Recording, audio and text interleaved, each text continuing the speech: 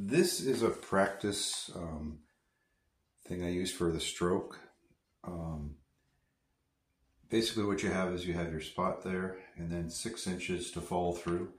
And then you have a little spot to do your microstrokes and then you have about 11 inches to your um, bridge hand and then separated by inches.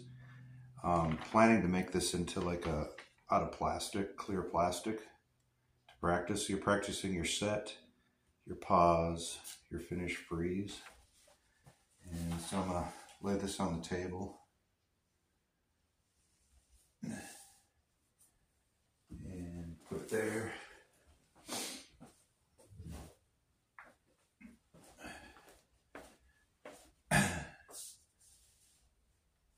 Now what I do is I put the ball on the spot and I find my, uh, do my training wheels onto that spot going to do my little,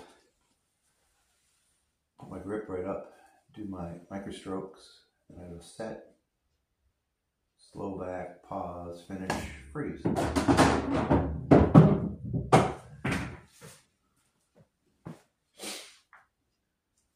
Put it on the spot. Do your training wheels. Come up.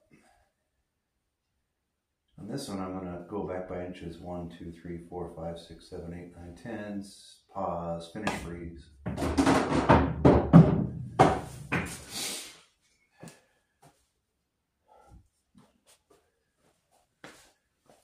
So how you do your set.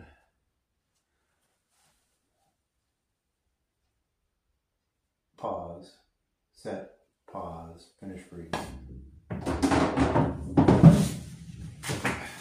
So that's something you could put together. You could put a spot there and then have have it go back depending on your fulcrum distance from other um, videos I had like fulcrum distance from your uh, wrist to your elbow.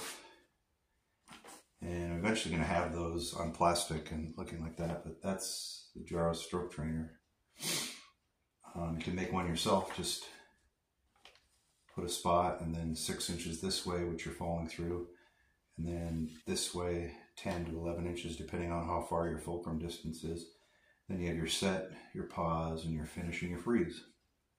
Something you could put together yourself and just work on your stroke. And you don't even need balls, just work on that. Just so you have a beautiful slow backswing, good transition, and finish freeze. Stay still like a statue. Thanks for watching. Please like, share, and subscribe.